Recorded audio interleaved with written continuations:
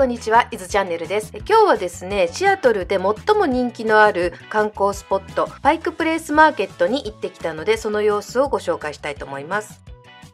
シアトルは冬はほとんどが雨なんですけれども、まあ、雨が降らなくてもこんな感じのドヨンとした曇り空が冬のシアトルの典型的な気候です。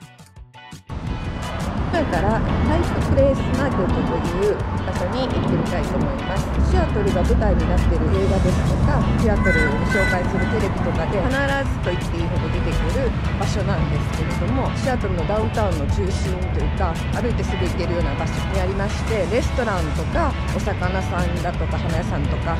いろいろ雑貨のお店とかいろんなお店があります。シアトル一番と言ってもいいぐらいの観光地となっているのでちょっとご紹介したいと思います。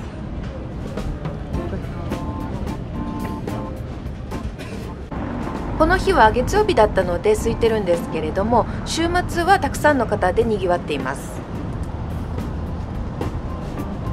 1907年にオープンしたこのパイクプレイスマーケットはアメリカで最も歴史の長いマーケットの一つだそうです。年間1000万人の方が訪れる場所でシアトルの最も人気のある観光スポットとなっています。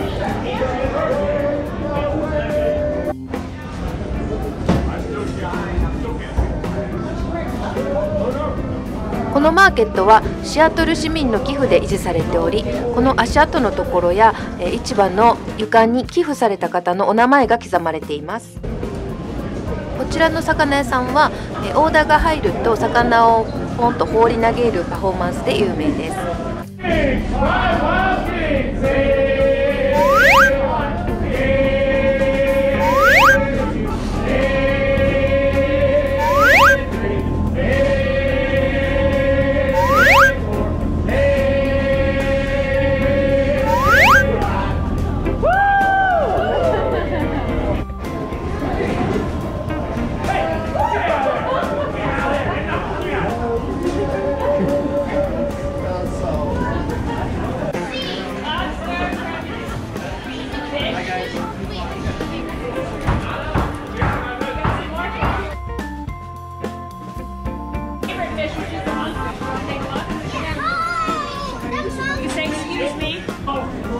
この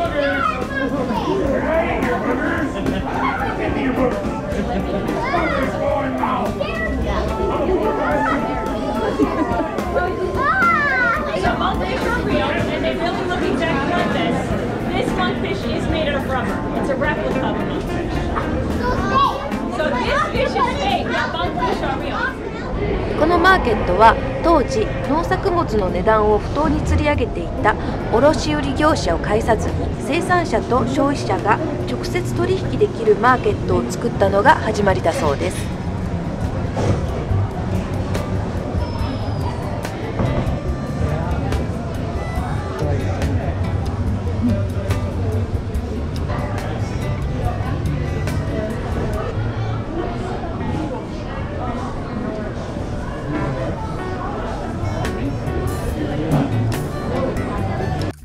1993年の映画です。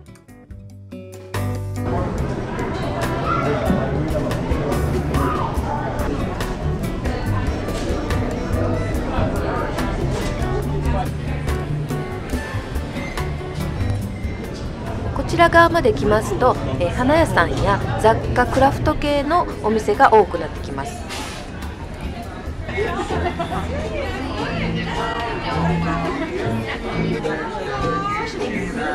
は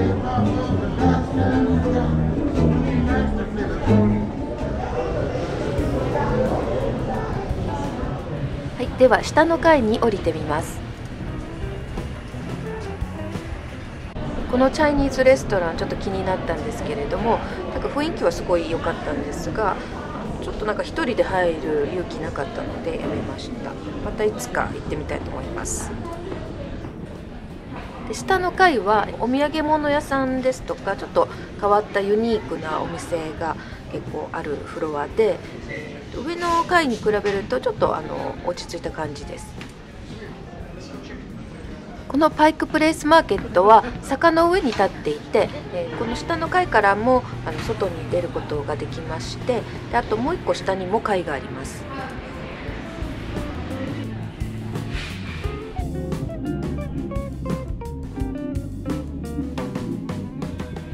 もう一個下の階に来てみました。日本っぽい雑貨屋さんや古本屋などがありました。ここの階まで降りてくるとかなり人も少なくなってきます。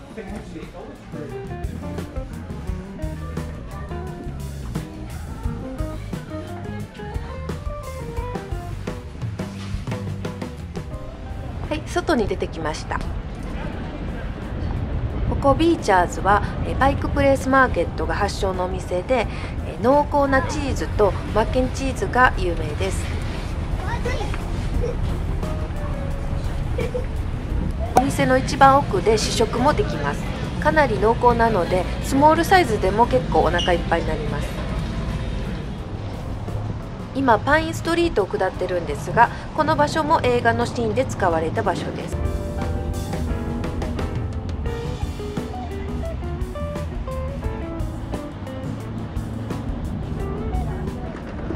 マーケットの向かい側にもたくさんレストランやお店があります。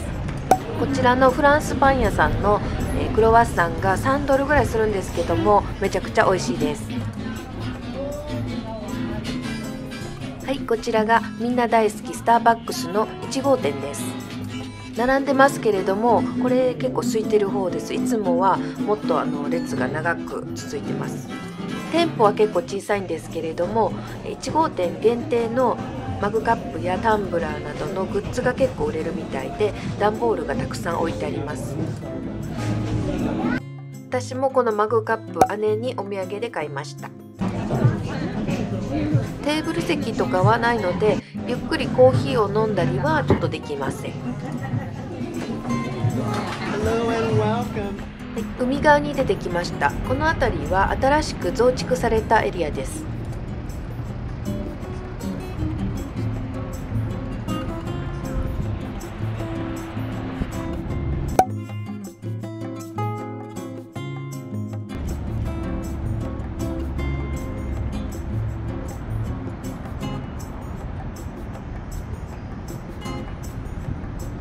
隣にはトーテンポールが目印のちっちゃい公園もあります。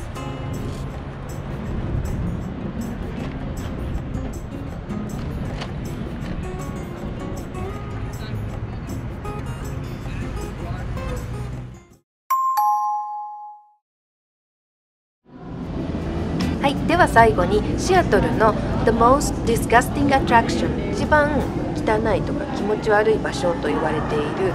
ガムウォールガムの壁をご紹介したいと思います。場所はパイクプレイスマーケットのすぐ横の路地を下ったところにあるんですけれども名前の通りみんなが噛んでたガムをペタペタ壁に貼っていっただけの場所です。で私も今回初めて行ったんですけれどもなんか汚いのかなと思って覚悟して行ったんですが意外とカラフルでそんなに汚くはなかったです。辺り一面バブルガムの匂いがしてるんですけれども、えこれ誰かが噛んでたガムの匂いかなと思うとちょっとなんか複雑です。2015年に一度20年ぶりに掃除したらしいんですけれども今はまたこんな状態です。シアトルにはまだまだいろんなスポットがありますのでまたご紹介していきたいと思います。ではまた次の動画でお会いしましょう。さようなら。